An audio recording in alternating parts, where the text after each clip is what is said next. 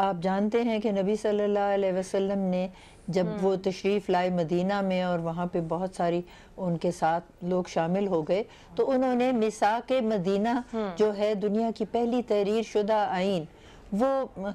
سامنے لائے اور اس میں الحاق تھا مسلمانوں کا اور عیسائیوں کا اور یہودیوں کا اور کفار کا۔ اور اس کا نظام ایسا تھا کہ سب کے لیے جو فوجداری قوانین تھے اور جو قوانین تھے سول وہ یکساں تھے لیکن ہر ایک کے اوپر اپنے ذاتی جو قانون تھا جو آئلی قوانین تھے وہ ان کے علیحدہ علیحدہ تھے لیکن تمام کو ایک جیسی شہریت اور ان کا بنیادی حقوق جو تھے وہ ایک یکساں تھے۔ تو ہمیں بھی اسی بات پر علامہ اقبال نے بھی اور قائد اعظم نے بھی یہی فرمایا کہ ہم جب آزاد مملکت بن گئے ہیں تو تمام شہری یکساں ہیں اپنے مندروں میں جائیں مسجدوں میں جائیں اور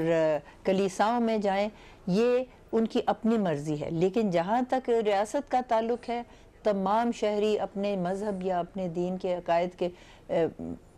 پیروی کے علاوہ ایک جیسے ہیں اور یکساں ہیں۔ اور کاش ہم بھی یہ بنیادی حقوق لوگوں کو کر سکے مہیا اور یہ ریاست کا بھی کام ہے اور ہمارا اپنا انفرادی طور پہ بھی ہے۔ کیونکہ اگر ہم آپس میں یہ نہیں کریں گے تو ریاست کیا کر سکتی ہے؟ ہم لوگوں کو برا بھلا کہیں ان کے ساتھ تلخ کلامی کریں پھر عورتوں کے ساتھ زیادتی کریں۔ آپ جانتے ہیں کہ جو خطبہ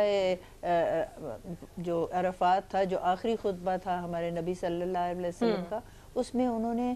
خواتین کی عزت کی کتنی اہمیت دی اور یہ بھی کہا کہ تمام جو ہیں مسلمان وہ ایک کنگی کی طرح ہیں چاہے وہ عرب کے ہوں یا عجم کے ہوں۔ سب جو ہیں وہ یکساں ہیں۔